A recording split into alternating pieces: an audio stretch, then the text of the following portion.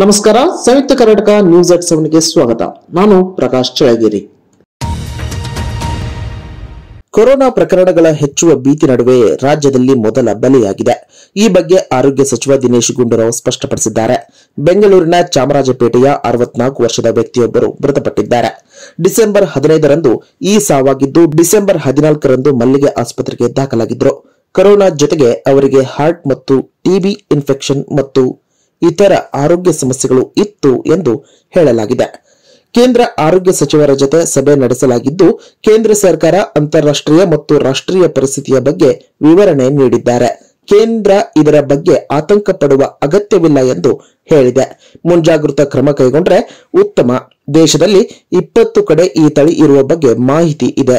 ಗೋವಾ ಹದಿನೆಂಟು, ಕೇರಳ ಒಂದು, ಮಹಾರಾಷ್ಟ್ರ ಒಂದು ಎಂದಿದ್ದಾರೆ. ಅದರಿಂದ ಕೇಂದ್ರ ಸರ್ಕಾರ ಏನ್ ಹೇಳ್ತಾ ಇದ್ದಾರೆ ಅಂತ ಹೇಳಿದ್ರೆ ಯಾವುದೇ ರೀತಿಯ ಒಂದು ಆತಂಕ ಅಥವಾ ಭಯವನ್ನ ಸೃಷ್ಟಿ ಮಾಡುವಂತ ಅವಶ್ಯಕತೆ ಇಲ್ಲ.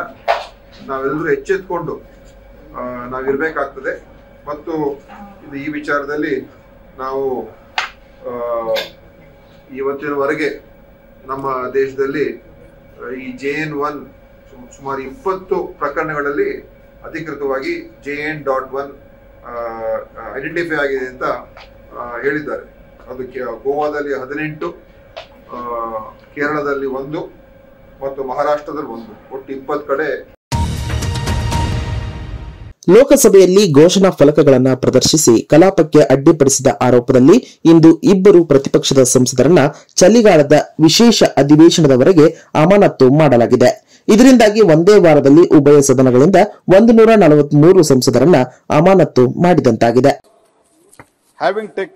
Taken, serious note of the grave misconduct of Sri C. Thomas and Sri M. Arif MPs in utter disregard to the House and the authority of the chair through display of the placards and entering into the well of the House and having been named by the chair, resolve that the above mentioned members may be suspended for the service, uh, suspended from the service of the House for the remainder session uh, under Rule 3742. प्रश्न है कि माननीय मंत्री जी द्वारा प्रस्तुत प्रस्ताव को स्वीकृत किया जाए जो सदस्य इस पक्ष में वो हाँ कहे, जो सदस्य इसके विरोध में वो ना कहे, मेरे विचार में निर्णय हाँ वालों के पक्ष में हुआ हाँ वालों के पक्ष में हुआ, प्रस्ताव स्वीकृत हुआ ಪ್ರಜಾಪ್ರಭುತ್ವದಲ್ಲಿ ಮೋದಿಜಿಯವರ ಸರ್ವಾಧಿಕಾರ ಆಡಳಿತವು ನಡೆಯುವುದಿಲ್ಲ.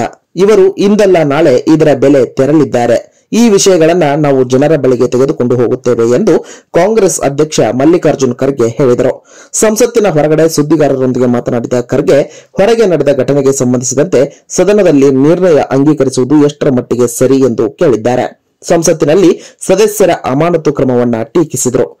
ನೀವು ನಿಯಮಗಳನ್ನ ಅನುಸರಿಸಿಲ್ಲ ಅಮಾನತುಗೊಂಡವರನ್ನ ಮತ್ತೆ ಕರೆಯಬೇಕು ಎಂದು ನಾವು ಬಯಸುತ್ತೇವೆ ಪ್ರತಿಪಕ್ಷಗಳು ಯಾರನ್ನೂ ಅವಮಾನಿಸಲು ಬಯಸುವುದಿಲ್ಲ ಪ್ರಧಾನಿ ನರೇಂದ್ರ ಮೋದಿ ಮತ್ತು ಗೃಹ ಸಚಿವ ಅಮಿತ್ ಶಾ ಸೇರಿದಂತೆ ಸರ್ಕಾರವನ್ನ ಹೊಣೆಗಾರರನ್ನಾಗಿ ಮಾಡಲು ಮಾತ್ರ ಬಯಸುತ್ತೇವೆ ಎಂದರು राज्यसभा के वो पूरे उठ के खड़े हो गए स्लोगन शॉट स्लोगन शाउटिंग ये कहीं है रूलिंग पार्टी खुद दस लोगों के लिए अगर 200 लोग खड़े होते हैं तो ये एक मज़ाक है डेमोक्रेसी का।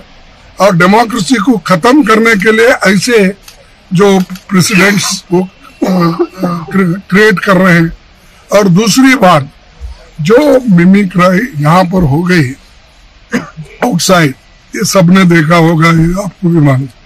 जो घटना सदन के बाहर हो गया आउटसाइड द हाउस तो उसके बारे में सदन में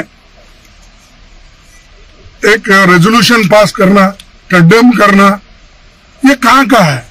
और वो भी ठहरे ठहरे।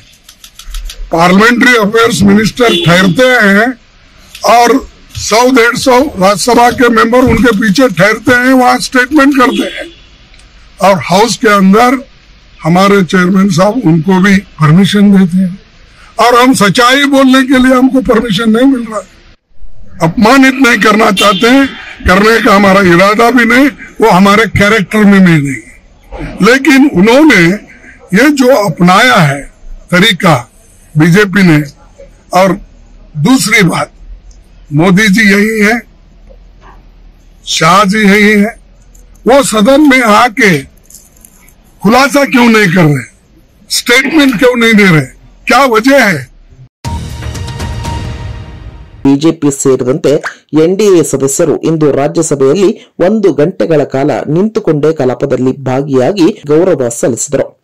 ನಂತರ ಸದನವನ್ನುದ್ದೇಶಿಸಿ ಮಾತನಾಡಿದ ಸಂಸದೀಯ ವ್ಯವಹಾರಗಳ ಸಚಿವ ಪ್ರಹ್ಲಾದ್ ಜೋಶಿ, ಪೀಠಕ್ಕೆ ಅವಮಾನ ಮಾಡಲಾಗಿದೆ. ನಾವು ಅದನ್ನ ಖಂಡಿಸುತ್ತೇವೆ. ಸಂಸತ್ತು ಈ ಮಟ್ಟಕ್ಕೆ ಕುಸಿದಿರುವುದು ಇದೇ ಮೊದಲು. ಮೊದಲು ಪ್ರಧಾನಿಯನ್ನ ಅವಮಾನಿಸಿ, ನಂತರ ಬುಡಕಟ್ಟು ಜನಾಂಗದವರಾದ ರಾಷ್ಟ್ರಪತಿಯನ್ನ ಅವಮಾನಿಸಿದರು. ಈಗ ಅವರು ನಿಮ್ಮನ್ನು ಅವಮಾನಿಸಿದ್ದಾರೆ ಈ ಅವಮಾನವನ್ನು ನಾವು ಸಹಿಸುವುದಿಲ್ಲ ಅವರು ನಿಮ್ಮನ್ನು ಮತ್ತು ಸಂವಿಧಾನವನ್ನ ಅವಮಾನಿಸಿದ್ದಾರೆ ಹೀಗಾಗಿ ಭಾರತದ ಉಪರಾಷ್ಟ್ರಪತಿಯ ಗೌರವಾರ್ಥ ಎಲ್ಲ ಎನ್ಡಿಎ ಸಂಸದರು ರಾಜ್ಯಸಭೆಯಲ್ಲಿ ಒಂದು ಗಂಟೆ ನಿಲ್ಲುತ್ತಾರೆ ಎಂದು तो उपराष्ट्रपति का अपमान नहीं सहेगा हिंदुस्तान और संविधान का अपमान नहीं सहेगा हिंदुस्तान सर इसीलिए हमारे सब सब सदस्य का इच्छा है कि इन लोगों ने प्रधानमंत्री पद को आपको अपमानित करते हैं, राष्ट्रपति को अपमानित करते हैं। कल जो आपको अपमानित किया है, आपके पद को अपमानित किया है, संविधान को अपमानित किया है,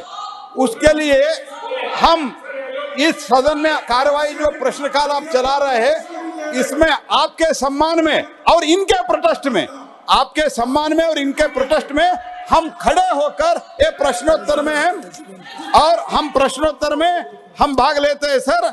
और इसके साथ ही साथ इसका प्रेसिडेंट भी मान्य राष्ट्रपति भी इस घटना का खंडन किया है। ಉಪರಾಷ್ಟ್ರಪತಿ ಜಗದೀಪ್ ಧನ್ಕರ್ ಅವರನ್ನ ಸಂಸದ ಅಣಕಿಸುವಾಗ ತಾವು ವಿಡಿಯೋ ಚಿತ್ರೀಕರಣ ಮಾಡಿದ ಕುರಿತು ಪ್ರತಿಕ್ರಿಯೆ ನೀಡಿರುವ ರಾಹುಲ್ ಗಾಂಧಿ ಸಂಸದರೆಲ್ಲರೂ ಪ್ರತಿಭಟನೆ ನಡೆಸುತ್ತಾ ಕುಳಿತಿದ್ರು. ನಾನು ಅವರ ವಿಡಿಯೋ ಚಿತ್ರೀಕರಣ ಮಾಡುತ್ತಿದ್ದೆ. ಆ ವಿಡಿಯೋ ನನ್ನ ಮೊಬೈಲ್ ಫೋನ್ನಲ್ಲಿ ಇದೆ. ಮಾಧ್ಯಮಗಳು ನಾನು ವಿಡಿಯೋ ಶೂಟ್ ಮಾಡುತ್ತಿದ್ದ ದೃಶ್ಯವನ್ನ ತೋರಿಸುತ್ತಿವೆ. ಸದನದಿಂದ ಸಂಸದರನ್ನ ಹೊರಹಾಕಿರುವ ಬಗ್ಗೆ ಏಕೆ ಚರ್ಚೆಗಳು ನಡೆಯುತ್ತಿಲ್ಲ ಎಂದು ಪ್ರಶ್ನಿಸಿದ್ದಾರೆ. मैंने उनका वीडियो लिया। मेरा वीडियो मेरे फ़ोन पे है। मीडिया दिखा रहा है मीडिया कह रहा है मोदी जी कह रहे हैं किसी ने कुछ कहा ही नहीं।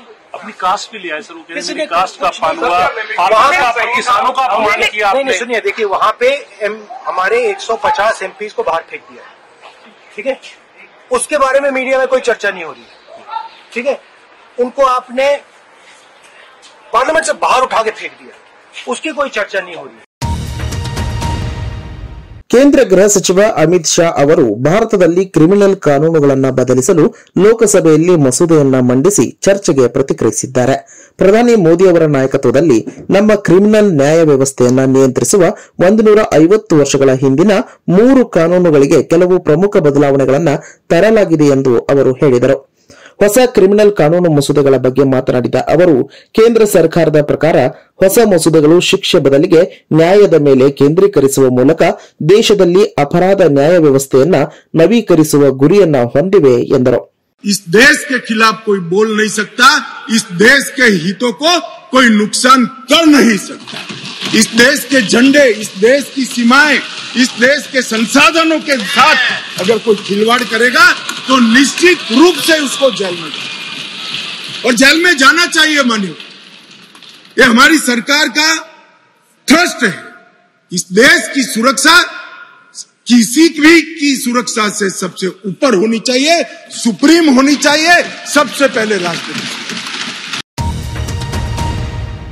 ಬರ ಪರಿಹಾರ ಎರಡು ಸಾವಿರ ಕೊಡ್ತೇವೆ ಅಂತಾರೆ. ಆನೆ ಹೊಟ್ಟೆಗೆ, ಅರಕಾಸಿನ ಮಜ್ಜಿಗೆ ಗಾದೆ ಮಾತಿನಂತೆ ಆಗಿದೆ ಎಂದು ವಿರೋಧ ಪಕ್ಷದ ನಾಯಕ ಆರ್ ಅಶೋಕ್ ಹೇಳಿದ್ದಾರೆ. ವಿಧಾನಸೌಧದಲ್ಲಿ ಸುದ್ದಿಗೋಷ್ಠಿ ನಡೆಸಿ ಮಾತನಾಡಿದ ಅವರು, ಪಿಎಂ ಮೋದಿ ಭೇಟಿಗೆ ಅವಕಾಶ ಕೊಟ್ಟಿದ್ದಾರೆ. ಅಮಿತ್ ಶಾ ಭೇಟಿ ಸಹ ಆಗಿದೆ. ಕೂಡಲೇ ರಾಜ್ಯ ಸರ್ಕಾರ ಬರ ಪರಿಹಾರ ಬಿಡುಗಡೆ ಮಾಡಿ ನಮ್ಮಲ್ಲಿ ಹಸಿರು ಬರ ಇದೆ. ಕೇಂದ್ರ ಸರ್ಕಾರ ಎಲ್ಲ ರಾಜ್ಯಗಳಿಗೂ ಒಂದೇ ಸಲ ಬಿಡುಗಡೆ ಮಾಡುವುದು. ಕರ್ನಾಟಕಕ್ಕೆ ಮೊದಲು ಬಿಡುಗಡೆ ಮಾಡಲ್ಲ. ನಿಮ್ಮ ಪಾಲಿನ ಹಣ ಬಿಡುಗಡೆ ಮಾಡಿ ಎಂದು ಅಶೋಕ್ ಒತ್ತಾಯಿಸಿದರು. ಮೊದಲೆಲ್ಲ ಹೇಳ್ತಾ ಇದ್ರು ಪ್ರೈಮ್ ಮಿನಿಸ್ಟರ್ ನಮ್ಗೆ ಅಪಾಯಿಂಟ್ಮೆಂಟ್ ಕೊಟ್ಟಿಲ್ಲ. ಹೋಮ್ ಮಿನಿಸ್ಟರ್ ನಮ್ಗೆ ಅಪಾಯಿಂಟ್ಮೆಂಟ್ ಕೊಟ್ಟಿಲ್ಲ ಅಂತ. ಈಗ ಇಬ್ರು ಅಪಾಯಿಂಟ್ಮೆಂಟ್ ಕೊಟ್ಟಿದ್ದಾರೆ. ಇಬ್ರು ಅಪಾಯಿಂಟ್ಮೆಂಟ್ ಕೊಟ್ಟಿದ್ದಾರೆ.